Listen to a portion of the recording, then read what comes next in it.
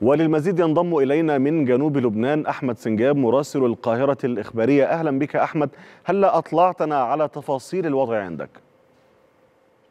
نعم تحياتي لك في البداية. هي عملية نوعية جديدة لحزب الله ينفذها باتجاه موقع عسكري حساس جدا في العمق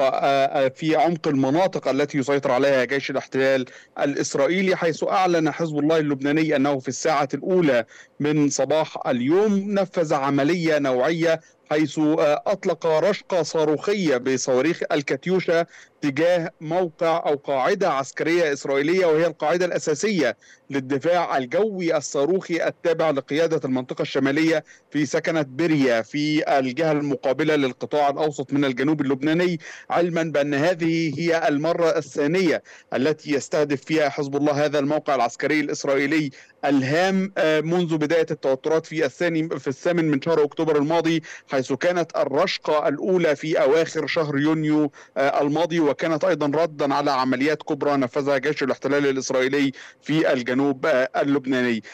حزب الله قال أن هذه الرشقة الصاروخية وهذا هذه العملية تجاه هذا الموقع العسكري الهام جاءت ردا على الاعتداء وعملية الاغتيال التي نفذها جيش الاحتلال الإسرائيلي في وقت سابق أمس في بلدة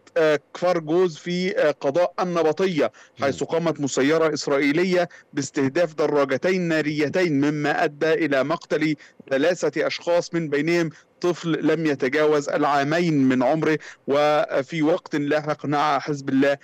القتيلين أي أنهما كانا عنصرين من عناصر حزب الله في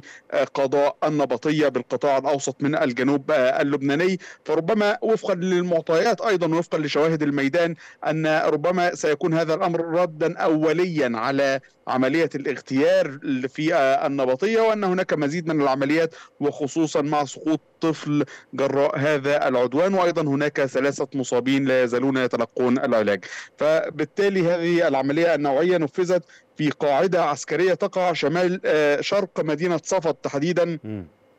هي تبعد عن الحدود اللبنانية الجنوبية أكثر من 12 كيلو مترا وربما هذه هي ذات المسافة من الحدود الجنوبية اللبنانية وبلدة النبطية أي أن حزب الله حينما اختار هذا هذا الموقع العسكري الإسرائيلي اختاره أيضا في مسافة جغرافية ليحافظ على قواعد الميدان وقواعد آه الاشتباك. آه ربما أيضا المعلومات الأولية المتوفرة أن هذه هي من القواعد الأساسية للدفاع الجوي الصاروخي لجيش الاحتلال الإسرائيلي كما أنها تضم أيضا كتائب متعلقة بالقبة الحديدية والصواريخ الدفاعية التي تعترض الصواريخ التي تطلق من الجنوب اللبناني. نعم، أحمد بناء على الصور التي تعرض الآن على الشاشة أو التي عرضت منذ لحظات كانت تظهر حرائق ربما اندلعت في منطقة الجليل الأعلى. هل أوضحت لنا التفاصيل إن كانت متاحة لديك أحمد؟ نعم بالتأكيد هذه الصواريخ ربما أحدثت حرائق لأن البيان الصادر عن حزب الله يقول أن هذه العملية حققت أهدافها أو أنها أحدثت إصابات مباشرة في القاعدة المستهدفة وهو ما يعني أن إطلاق الصواريخ وسقوط هذه الصواريخ سيؤدي إلى إشعال حرائق وربما أيضا تدمير حتى ولو جزئي في بعض المباني المتعلقة بالقاعدة. هذه العملية نفذت باتجاه موقع عسكري أو قاعدة عسكرية إسرائيلية وليست مناطق مدنية. فبالتالي تكون الأضرار في هذه القواعد العسكرية ربما قد يعلن جيش الاحتلال الإسرائيلي عن هذه الخسائر أو الأضرار التي تعرض لها جراء هذه العملية النوعية التي نفذت من الجنوب اللبناني. نعم، يعني الزميل العزيز أحمد سنجاب مراسل القاهرة الإخبارية من الجنوب اللبناني شكرا جزيلا لك.